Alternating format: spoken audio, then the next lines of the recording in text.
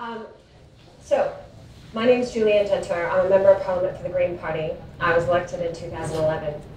And uh, as you can hear from my accent, I wasn't born in New Zealand.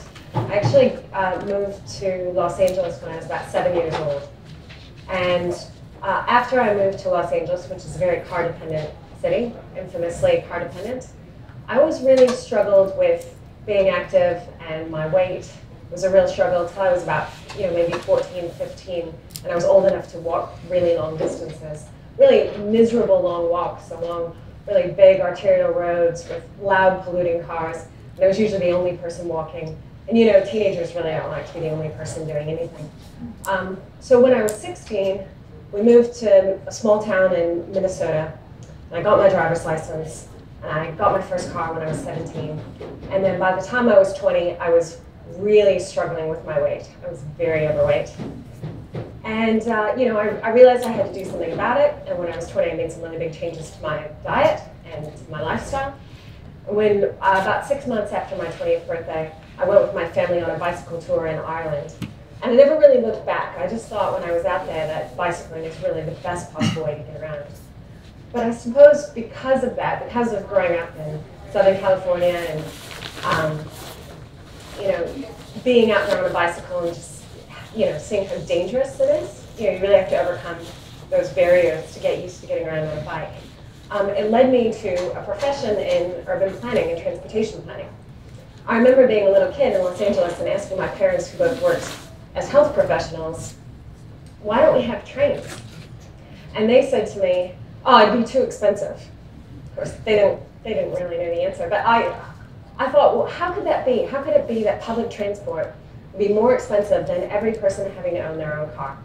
So I set out on this journey, became an urban planner, moved to New Zealand, uh, and one thing led to another, and I ended up as a member of parliament. The talk I'm going to give you is one that I would have given, you know, before becoming a politician, just when I was working as a transportation consultant.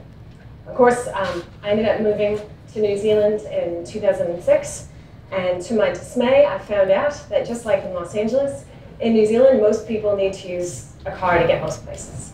Did you say that's true? And we heard from Simon about all the health impacts of that, all the potential health benefits that we're missing.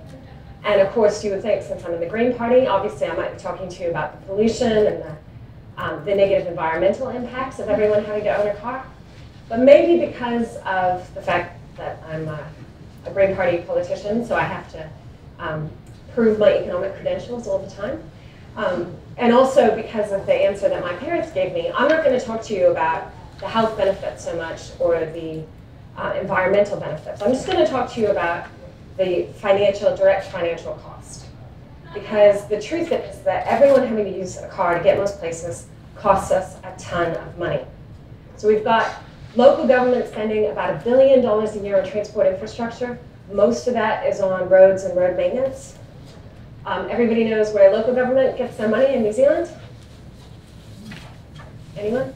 Property taxes or rates? Yep, so ratepayers, not road users. Ratepayers are paying that billion dollars. Uh, central government spends about $3 billion a year on transport.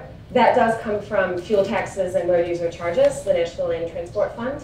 So all up, government spending about $4 billion a year on transport infrastructure most of it, the vast majority, is on roads and road maintenance um, and state highways. Um, but actually, households and business have to spend three times more than that every year just to use the infrastructure that government is building with your tax dollars. So we're spending over $12 billion a year on vehicles and fuel. And all of that is imported. None of that is produced here in New Zealand. So it all contributes to our current account deficit this is almost the amount that we export in dairy products. So, you know, we're producing all this milk powder to get richer, and we're just spending it to get to work and to get to school and to get around. And obviously, if we can reduce that cost, then that's a direct benefit. So I'll just show you quickly. Um, this is about 14, 15 years of um, our fuel imports. You can see the blue line is the quantity.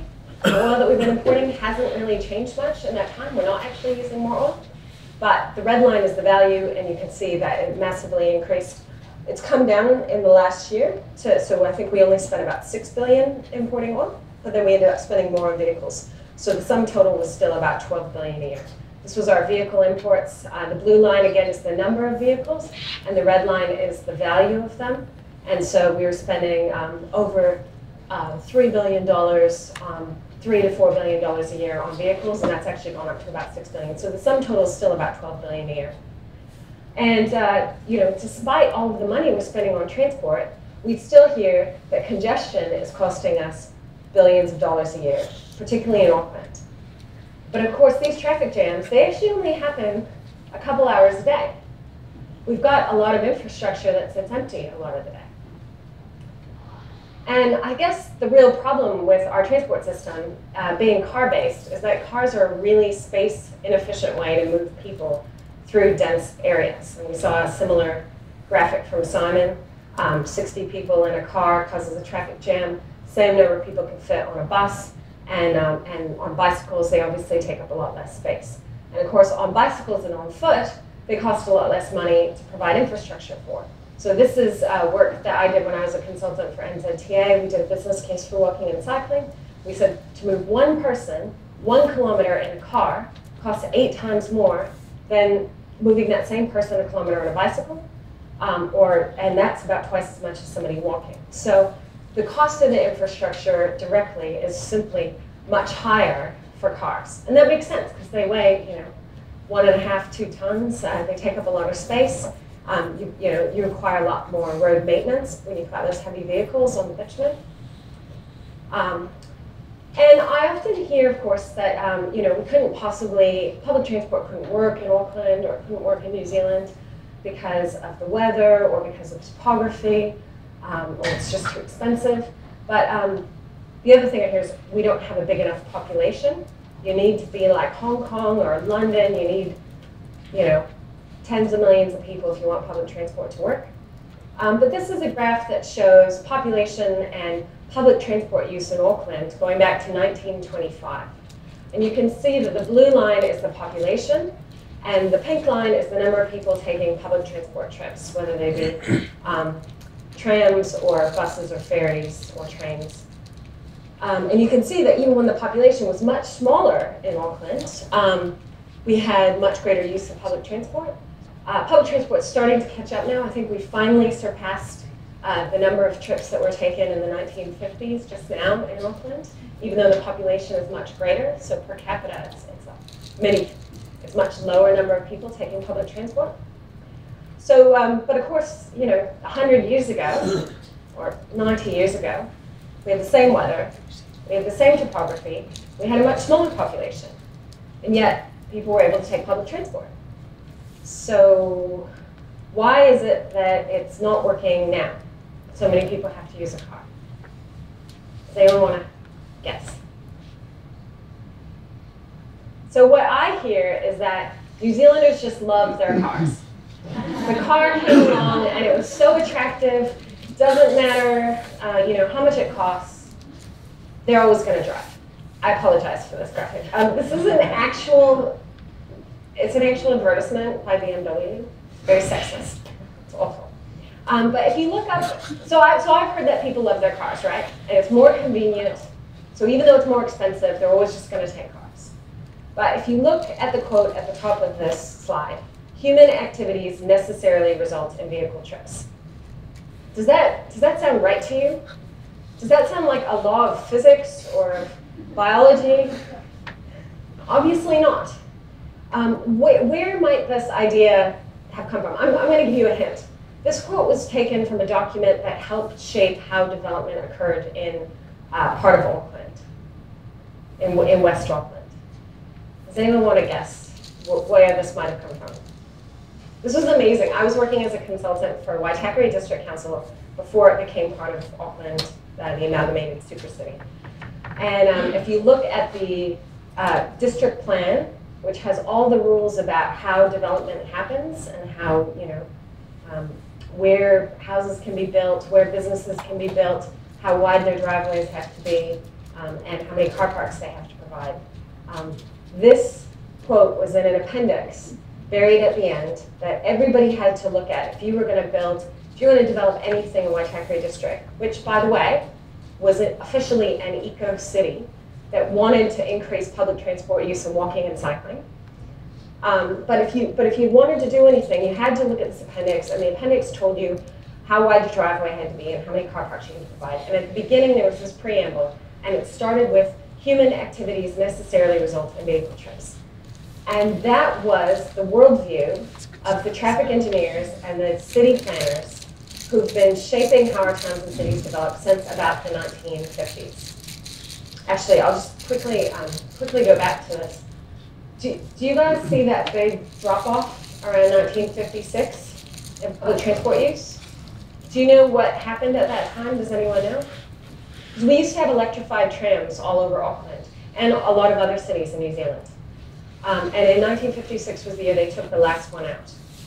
So, um, so and around that time, of course, we had the car-oriented um, transport rules, and cars were becoming cheaper, and we were planning for more and more car use. And this is totally understandable because traffic engineering didn't really exist as a profession until the mid 20th century. Uh, we had civil engineers, and civil engineers mainly dealt with water before uh, we developed a sub-branch of civil engineering called traffic engineering. And so civil engineers, their job was to predict peak rainfall, or peak flows of water, like the one in a hundred year storm, and design pipes big enough to accommodate that water. And when you look at traffic engineering, they took the exact same principles of water engineering and they applied it to vehicles. And they're still doing this. They say we have to, we have to figure out what the peak number of vehicles is going to be going down this, this street.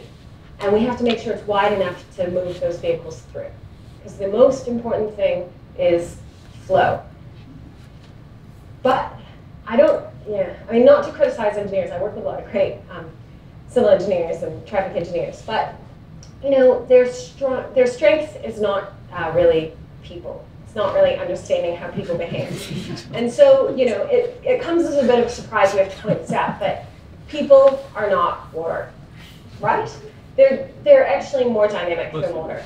And they're going to make different decisions about where to locate and how to travel based on the price and the availability and the attractiveness of their transport options.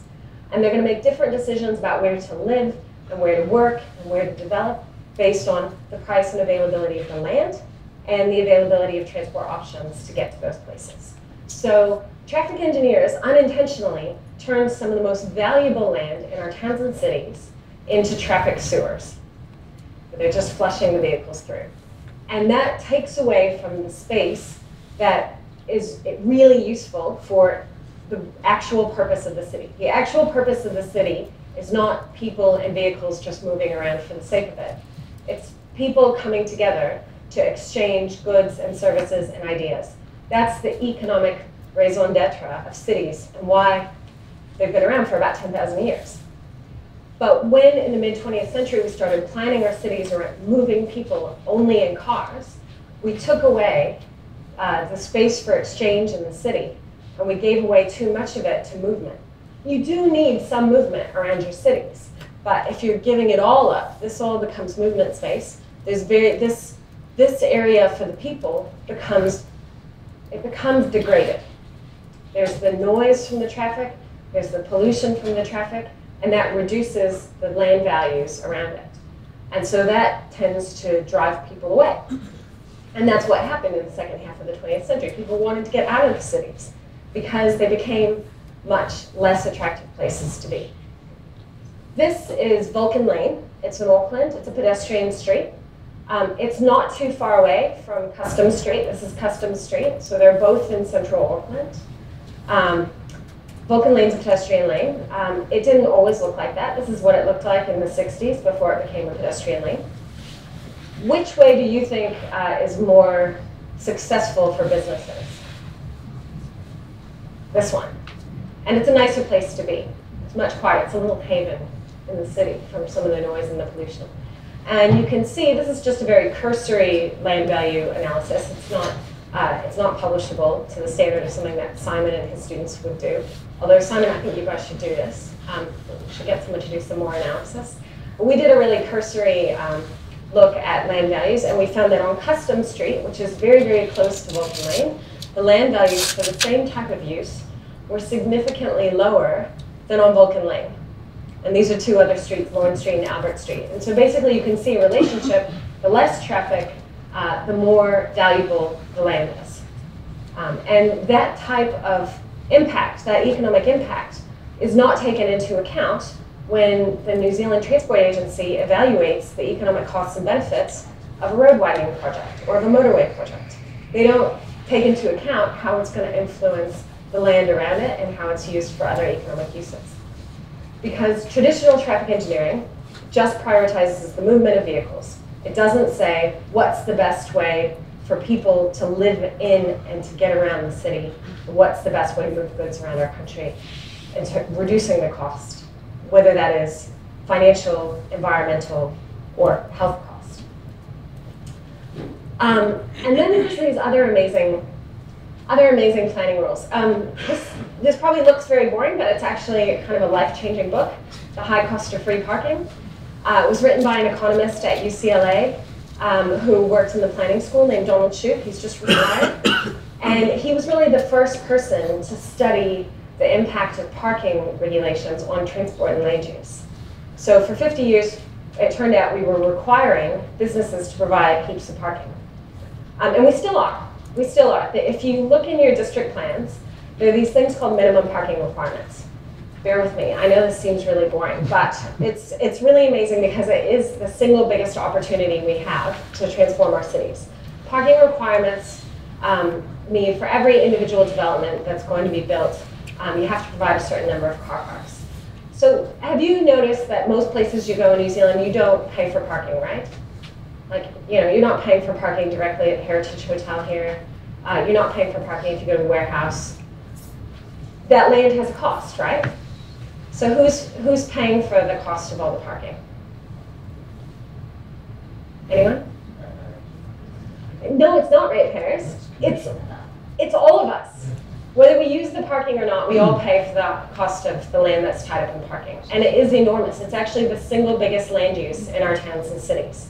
This is Manukau City Center. You can see the orange is the streets and the roads. There's a big motorway on the side of Manukau City. But uh, the blue is the off-street car park.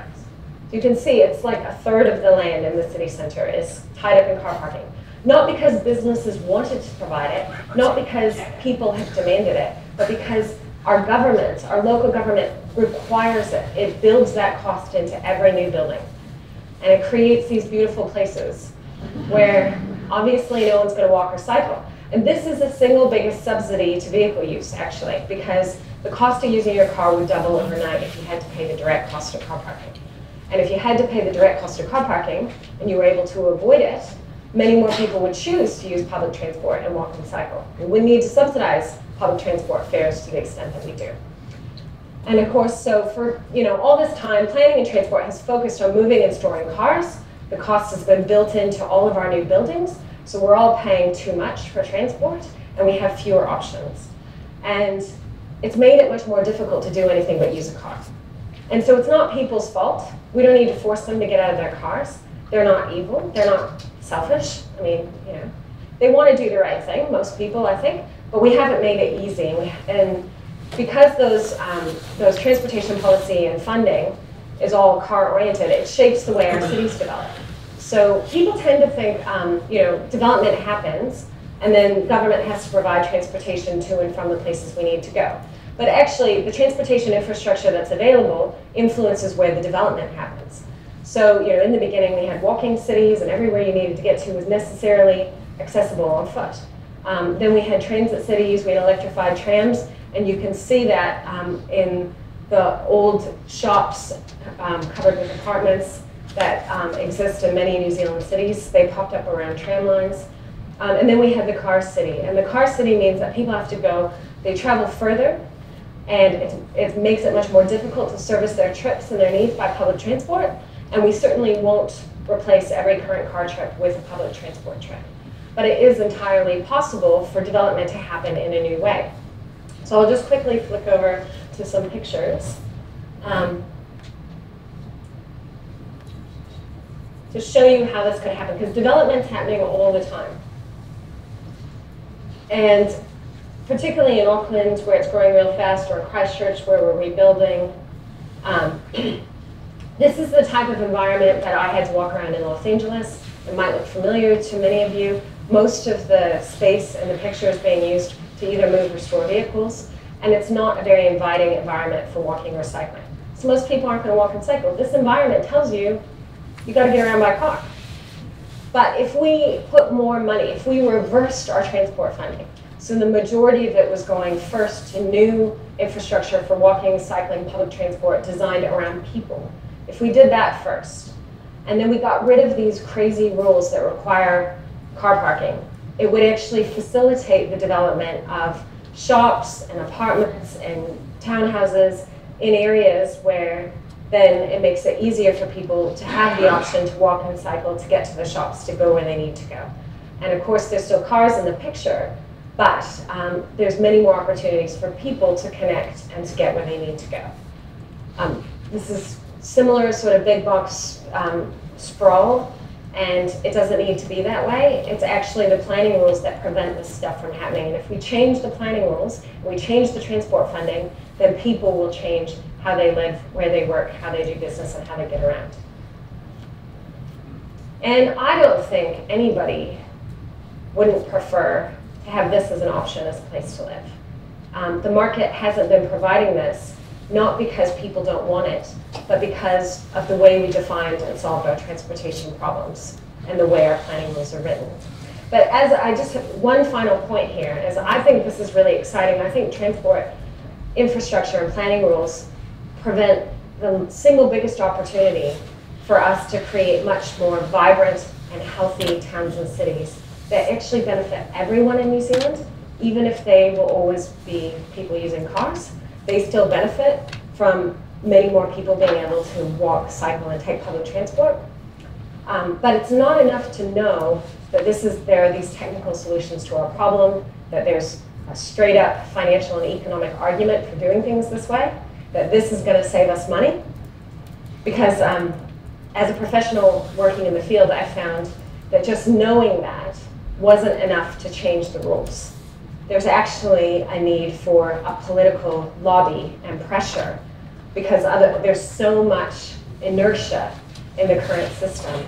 There's so many professionals, um, traffic engineers at councils or planners at councils, um, local body politicians and central government politicians who think that things can't happen this way. And they're still putting most of the money into motorways that aren't going to solve problems for anyone, even the people who are driving cars. So we really need um, as many people as possible to be putting the pressure on talking to your friends, your colleagues, your coworkers, your family about these opportunities to build the political support and to put pressure on the politicians to make this a reality. So, questions?